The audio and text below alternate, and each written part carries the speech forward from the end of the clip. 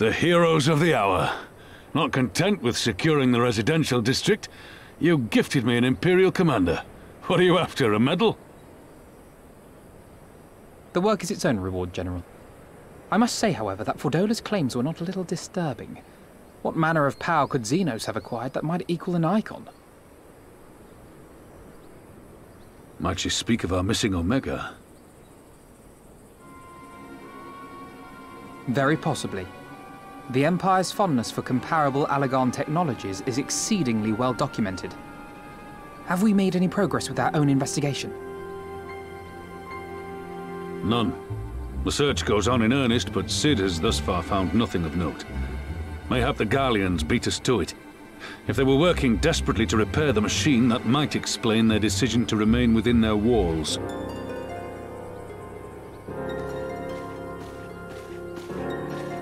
Ah, Lyse. I trust you surrendered Fordola into custody without incident. We were just discussing the pilot's claims. About Zenos and his newfound powers. She hasn't said a word on the subject since we rescued Krile. Even when the interrogator asked nicely.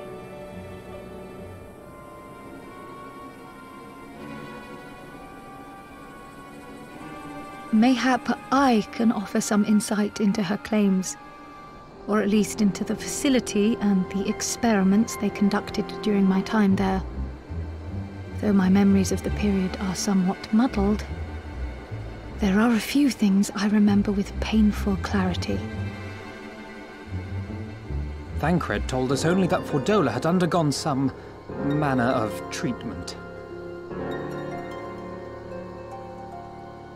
Yes.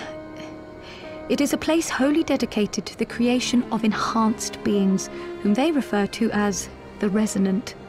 As I understand it, the process aims to imbue a test subject with the qualities of an individual with demonstrated magical aptitude. This entails. This entails the mechanical extraction and transfusion of some manner of primordial essence. So that's how Fordola improved so fast. I knew there had to be something. She wasn't half as strong or quick to predict my attacks when we first met. If it weren't for Urianger's siphon thingy, I really don't think we'd have beaten her. My humble scheme asked far more in the execution than it required in the conception, I do assure thee. Oh, you have got to stop doing that. In calling upon Lady Alisaie after her defeat, I was most intrigued to learn of the apparent effortlessness with which Fordola countered her attacks. 'Twas as if she knew the blade's destination ere its journey began. A most impressive feat under any circumstances, but an almost miraculous one when considered in the context of Fordola's unfamiliarity with my lady's arts. How then could she so perfectly predict an unknown opponent's every move? After much deliberation, I surmised that Fordola may be possessed of a preternatural ability to divine meaning from the fluctuations of an individual's ether and to instinctively react. To employ a metaphor, one might say that she was attuned to the whispers of my Lady Alisaie's soul. Wait, have you not just described a manifestation of the Echo? I had no conclusive proof. The available anecdotal evidence suggested only that Fordola was uncommonly sensitive to etheric fluctuations, and 'twas this which led me to develop my stratagem. I would fashion a device with the capacity to generate a massive disruption in the surrounding ether. If, as I suspected, Fordola's senses were indeed questing for the most minor of oscillations, the shock of exposure to a more amplitudinous etheric waveform would be akin to a debilitating bout of ether sickness.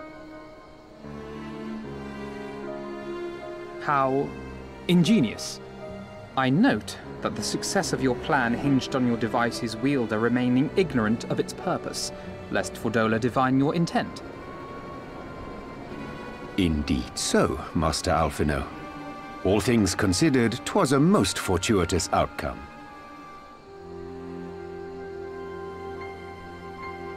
That's putting it mildly. In any event, if Urianger is correct, that would mean these Resonant have been granted the power of the Echo via artificial means. A sobering thought, to say the least, and one which makes me wonder what else Zenos has in store. Whatever the Viceroy's newfound powers, I know of none better equipped to face him. And face him you must. For there is now but one path forward, and it leads straight to Ala Mhigo. And it's not as if we came unprepared. We've got all our friends and allies fighting for the same thing. Honestly, right now, I feel like we could take on anyone and win. And I mean anyone.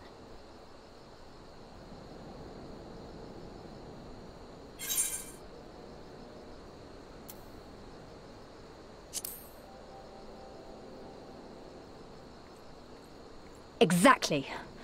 Oh, I wouldn't want to be in Zenos' boots. Not with the likes of us coming to get him. Right, I'd best get back to the residential district. Thancred and the Resistance forces are waiting.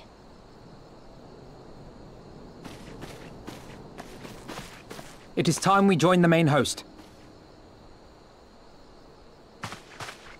Krile, in light of your recent ordeal, might I suggest that you remain with the rearguard for now?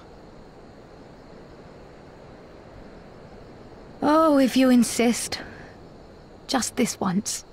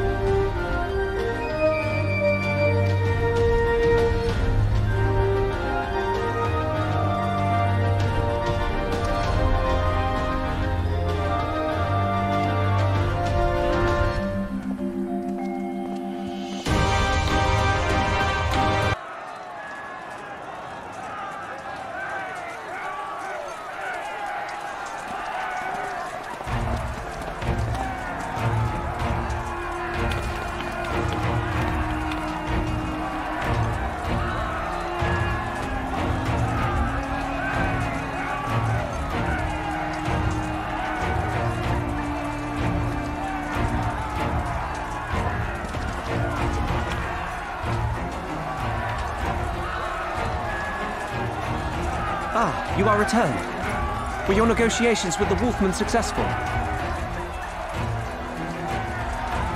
The one they called the White was receptive to our words once we told him of Doma's liberation. They withdrew behind the walls to inform their brethren. If the gods are good, no blood shall be shed between our peoples this day. Hear, hear. Now, I think it's time we did something about those gates. Forward!